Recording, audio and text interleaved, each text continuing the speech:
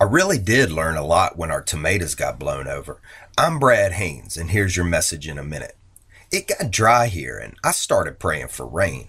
Well, as the proverbial saying goes, be careful what you ask for, and the rains came, and with it, a microburst. Now, that's a straight blowing tornado for those of you that don't know. It blew over our entire crop of 200 tomatoes and thousands of interwoven stakes. Yikes! It was especially heartbreaking because my wife Tanya had been taking better care of them than ever, and they looked absolutely marvelous. Now, to make it a minute, after a big feeling of defeat, we had to get to getting, or be got. Looking at the whole picture of the event, we had analysis paralysis, but one stick and one plant at a time. Every tomato was put in its place with no losses. When your life gets blown over, you put it back together one minute at a time with Jesus. And that's your message in a minute.